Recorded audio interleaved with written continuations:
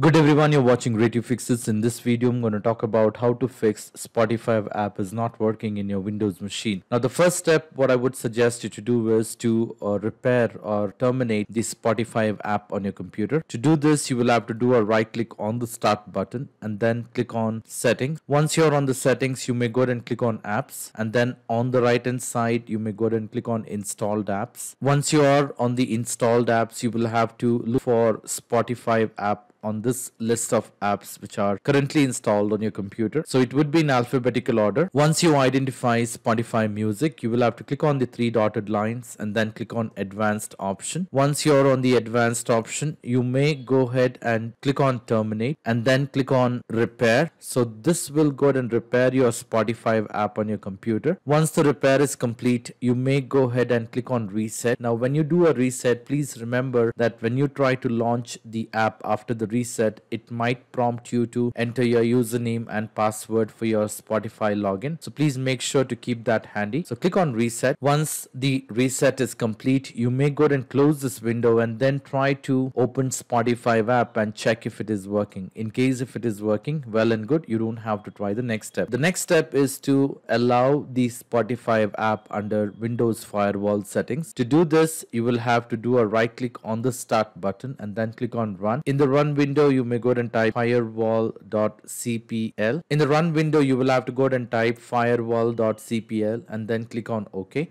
In case if you get a user access control prompt, you may click on yes or continue on the screen. Now once it will take you to the Windows Defender firewall window. Under this on the left hand side, you will have to choose the option which says allow an app or feature through Windows firewall. Now it will take you to the list of applications listed here which is being allowed by the Windows firewall. So you will have to scroll down to the extreme bottom until you find Spotify app. Uh, to make it easier, you would see this in alphabetical order. All you have to do is you will have to go ahead and check the box in case if it is not checked and at the same time make sure it is being checked for private and public. In case if these options are grayed out, in case if you're not able to enable these boxes, you may click on change settings and that should should allow you to uncheck or check these boxes. So you have to make sure it has been checked for private and public um, network. Once that is done, you may click on OK. Close this window, restart your computer, try to open your Spotify and that should work. Now in spite of trying all this step and if you're still facing a problem, I would suggest you to leave me a comment in the comment section so that I can come up with the possible solution. I hope this video was useful. In case if you like this video, please make sure to hit the like button